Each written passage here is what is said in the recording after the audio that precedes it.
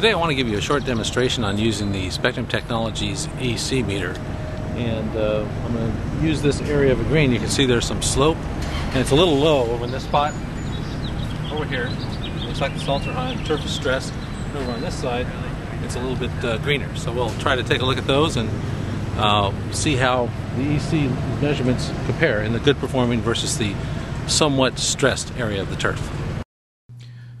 Okay, the way I like to use this meter is to uh, pick an area that you're looking for, and then you gently push the probe directly into the surface of the turf, making sure that uh, you have a constant motion, and watch the readings as the meter goes up and down through the layer. And you take the highest reading that you see as you're pushing through that layer. In this case, we're getting about a 1.8 uh, reading on the Field Scout. If the area appears to be dry, in this case it wasn't a dry uh, dryness problem, uh, you can put a little bit of water uh, on the area also, and you can see it's hydrophobic there a little bit, and then uh, gently push the meter in to see how the readings compare uh, without the moisture. In this case, they were coming out the same in the in the area, and you test um, two to three locations to be sure that you're getting a consistent reading in the and then go ahead and uh, write that number down uh, for the record and then move on to the good performing area. Now let's take a look at the good performing area. So we'll just move over and uh, repeat the process up there. Uh, the moisture content's good in this uh, in this green, so we're just going to go ahead and uh, take one reading up in this area just to see how it goes. And we get a reading as you push it in gently, it'll go up and uh, then back down as you get through that surface layer and the reading uh, was about 1.1. We can put a little bit of water on here but you can see in uh, this case that the water just pretty much runs right off. Uh, but uh, taking a couple of additional readings, the readings all were falling about that same level of about 1.1 and that's equivalent to a saturated paste extract of about 3.8 decisiemens per meter.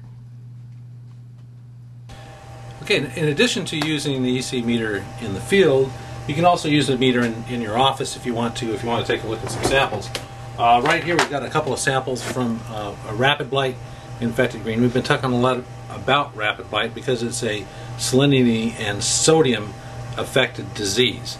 So let's take a look at how we might use the EC meter in the lab.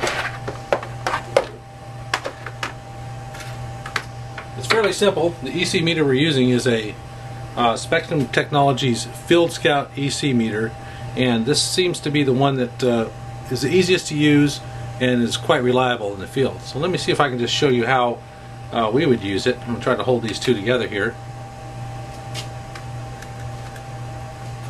And we'll see if we get this on, on camera. Not so easy sometimes. But here's what we like to do is we like to take the, the, this, the probe and stick it right into the side of the thatch layer, right up at the top. And I don't know if you can see that on there, but it's running about 1.45. So it's close to 1.5 on the meter. And you can spin the sample around a little bit and stick it in another area just to make sure you're getting a good reading. Went up to 1.5, then if you break contact, it'll uh, come down 1.58. So there you go, that's uh, 1.6.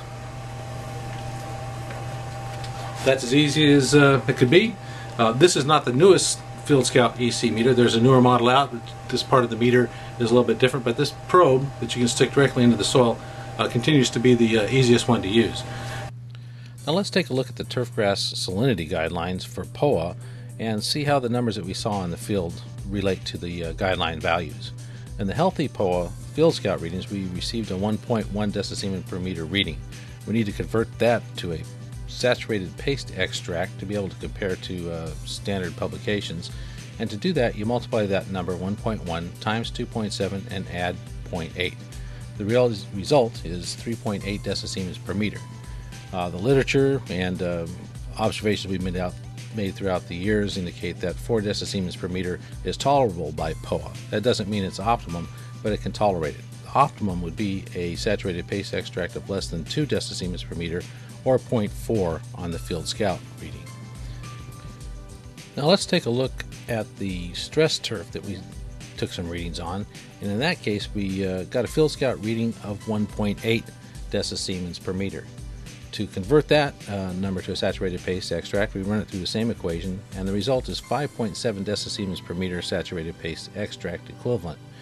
Now we know that that's above the uh, tolerance of POA. It's uh, that doesn't mean that the POA is going to die. It just means it's going to be stressed. The higher the salt readings go, the more likely that there's going to be increased stress, and eventually you will kill the POA. So we're still looking for an optimum reading of uh, less than 2 decisiemens per meter with a saturated paste extract or less than 0.4 on the field scout. Now, if you have uh, higher readings than those, then you would like to try to leach those down to uh, get a better reading, reduce the stress, reduce diseases like anthracnose and rapid blight, and even uh, secondary diseases such as curvularia.